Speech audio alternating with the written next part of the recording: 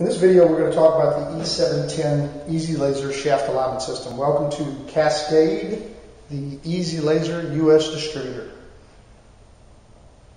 With the Easy Laser E710 Shaft Alignment System, the simple components that you have are the movable head, the stationary head, which coincide with the movable machine, the stationary machine, and the graphics are real simple to follow.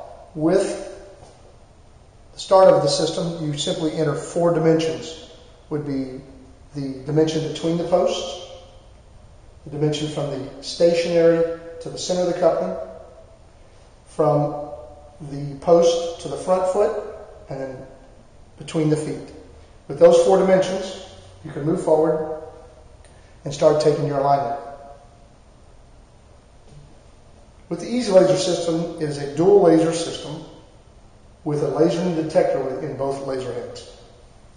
So when you start taking your measurements, you can see that the inclinometers track both heads on the shaft. We can start taking measurements at any position around, around the circle. Simply by pushing the enter button, you will get an indication of that reading has been taken. You can rotate to any other two positions, taking the readings, and you'll also notice that each head has a built-in inclinometer showing where you are relative to zero top dead center. With your third measurement, what you'll find is it's going to do a real quick calculation and move into the correction screen. In the correction screen, we would simply pull up and select a tolerance from the table based on the machine speed. Once you select that,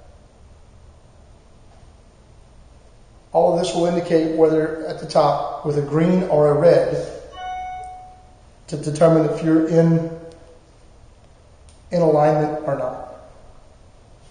So we're going to do a horizontal move on the back end of the machine. To bring this into horizontal alignment.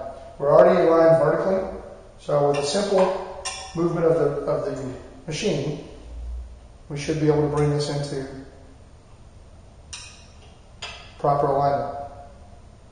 Now that we've lit, lit up all greens, we simply tighten the bolts back down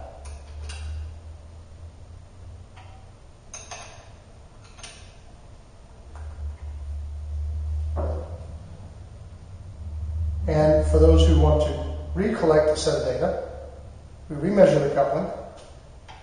And good practice is we always start at the position that we started with the first time and move in the rotation of the machine.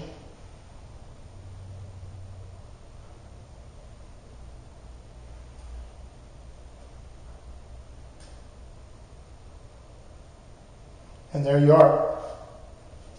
Once upon, once you've completed the alignment, everything's in the green, you simply move up, pull the menu up, and save this file for your records.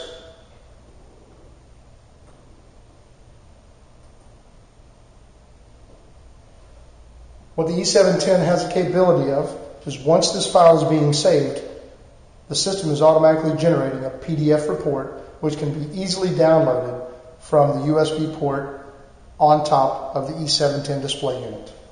Thank you for joining us today.